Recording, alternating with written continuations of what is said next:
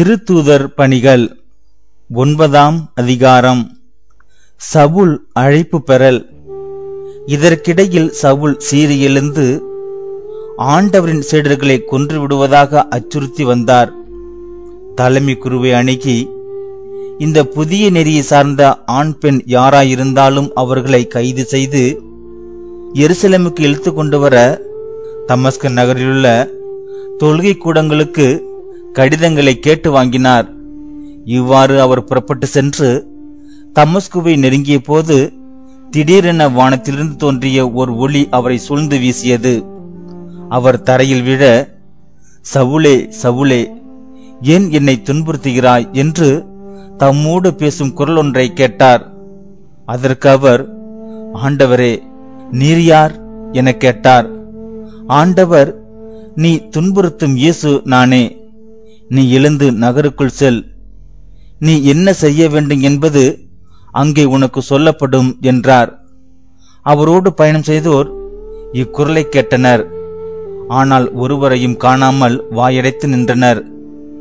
சவுல் தரையிலிருந்து எழுந்தார். தம் கண்கள் திறந்திருந்தும் அவரால் எதையும் பார்க்க முடியவில்லை.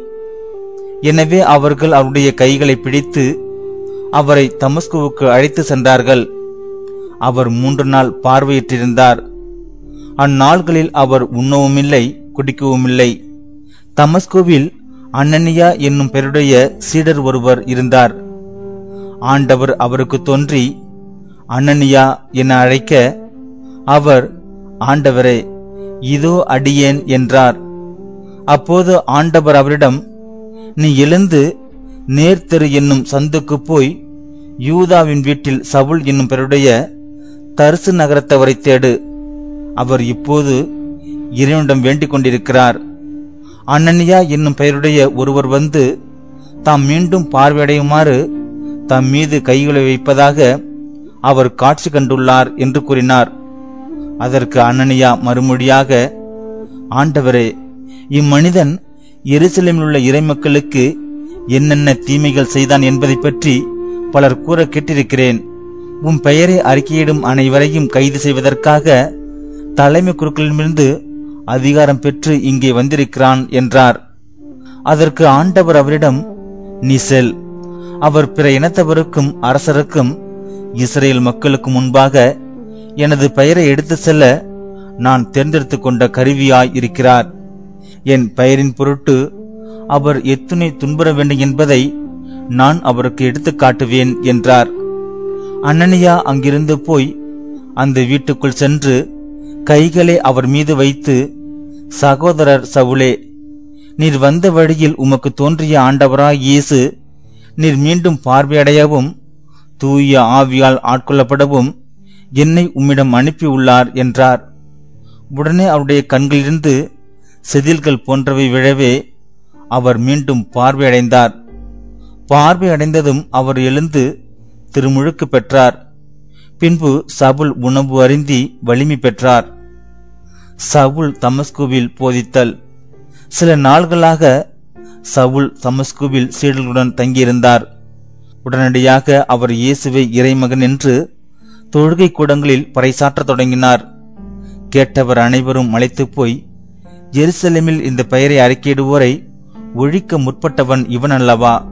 அவ்வாறு அறிக்கையிடுவோரை கைது செய்து தலைமை குருக்களிடம் இழுத்து செல்லும் எண்ணத்தோடு இங்கே வந்தவன்தானே இவன்? என்றார்கள். சவுல் மேன்மேலும் வல்லமை பெற்றவராய் இயேசுவே கிறிஸ்து என்பதை மெய்ப்பித்து தமஸ்குவில் வாழ்ந்த யூதர்கள் அனைவரும் மனம் குழம்ப செய்தார். சவுல் யூதரிடமிருந்து தப்பி செல்லுதல். இவ்வாறு பல நாள்கள் கழித்தன யூதர்கள் சவுலை கொன்றுவிட திட்டமிட்டார்கள்.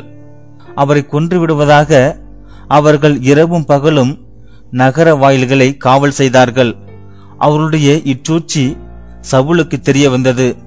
ஆகவே அவருடைய சீடர்கள் இரவில் அவரை குடையில் வைத்து நகர மதில் வழியாக இறக்கிவிட்டார்கள். எருசலேம் நகரத்தில் சவுல். அவர் எருசலேம் நகரத்துக்கு வந்தபோது சீடருடன் சேர்ந்து கொள்ள முயன்றார். ஆனால் அவரும் ஒரு சீடர் என்பதை நம்பாமல் அனைவரும் அவரை கண்டு அஞ்சினர். பர்ணபா அவருக்கு துணை நின்று அவரை திரு தூதலிடம் அழைத்து சென்றார். பவுல் ஆண்டவரை வழியில் கண்டது பற்றியும் ஆண்டவர் அவரோடு பேசியது பற்றியும் அவர் தமஸ்குவில் இயேசுவின் பெயரால் துணியுடன் உரையாடியது பற்றியும் பர்ணபா அவர்களுக்கு விளக்கி கூறினார். அதன்பின் சவுல் அவர்களோடு சேர்ந்து எருசலேமில் அங்கும் இங்குமாக சென்று ஆண்டின் பெயரால் துணியுடன் பேசி வந்தார். கிரேக்க மொழி பேசும் யூதலிடம் சென்று அவர்களோடு வாதாடினார். அவர்கள் அவரை கொன்றுவிட முயன்றார்கள். ஆனால் அவரோடு இருந்த சகோதரர்கள் இதை அறிந்து அவரை செசரியாவுக்கு கூட்டி சென்று அங்கிருந்து தர்சு நகருக்கு அனுப்பி வைத்தார்கள். யூதேயா கலிலேயா சமாரியா ஆகிய பகுதியிலெல்லாம் திருச்சபை வளர்ச்சியுற்று ஆண்டவருக்கு அஞ்சு நடந்து அமைதியில் திளைத்து தூய ஆவியாரின் துணையால் பெருகி வந்தது. ஐனையாவில் பிணிப்போக்கல். பேதுரு எல்லா இடங்களுக்கும் சென்று வந்தார். ஒரு நாள் லித்தாவில் வாழ்ந்த இறை மக்களிடம் வந்து சேர்ந்தார்.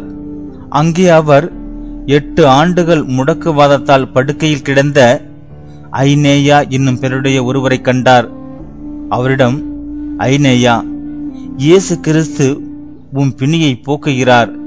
எழுந்து உம் படுக்கையை நீரை சரிப்படுத்தும் என்று பேதுரு கூறினார். உடனே அவர் எழுந்தார். லித்தாவிலும் சாரோனிலும் வாழ்ந்து வந்தவர்கள் அனைவரும் அதை கண்டு ஆண்டரிடம் திரும்பினார்கள். தொர்கா மீண்டும் உயிர் பெறுதல். யோப்பா நகரில் தபித்தா என்னும் பெருடைய பெண் சீடர் ஒருவர் இருந்தார். அவர் தொர்கா என்றும் அழைக்கப்பட்டார். நன்மை செய்வதிலும் இரக்க செயல்கள் புரிவதிலும் அவர் முற்றிலும் ஈடுபட்டிருந்தார். உடல்நலம் குன்றி ஒரு நாள் அவர் இறந்துவிட்டார். அங்கிருந்தோர் அவரது உடலை குளிப்பாட்டி மேல் மாடியில் கிடத்தினர். யோப்பாவிற்கு அருகிலுள்ள லித்தாவுக்கு பேதிரு வந்திருப்பதை சீடர்கள் கேள்விப்பட்டு இருவரை அவரிடம் அனுப்பி எங்களிடம் உடனே வாருங்கள் என்று கெஞ்சி கேட்டார்கள். பேதுரு புறப்பட்டு அவர்களோடு வந்தார். வந்ததும் அவர்கள் அவரை மேல் மாடிக்கு அழைத்து சென்றார்கள். கைம்பெண்கள் அவர் அருகில் வந்து நின்று தொர்க்கா தங்களோடு இருந்தபோது செய்து கொடுத்த எல்லா அங்கிகளையும் ஆடைகளையும் காண்பித்தவாறே அழுதார்கள். பேதுரு அனைவரையும் வெளியே அனுப்பிவிட்டு முழந்தால் படியிட்டு இறைவனிடம் வேண்டினார். அவரது உடலின் பக்கமாக திரும்பி தபித்தா எழுந்திடு என்றார். உடனே அவர் கண்களை திறந்து பேதுருவை கண்டு எழுந்து உட்கார்ந்தார். பேதுரு அவருடைய கையை பிடித்து எழுந்து நிற்க செய்தார். இறை மக்களையும் கைம்பெண்களையும் கூப்பிட்டு அவர்கள் முன் அவரை உயிருடன் நிறுத்தினார். இது யோப்பா நகர் முழுவதும் தெரிய வரவே ஆண்டோர் மீது பலர் நம்பிக்கை கொண்டனர். யோப்பாவிலுள்ள தோல் பதினெடும் சீமோன் என்பவரிடம் பேதுரு பல நாள் தங்கியிருந்தார்.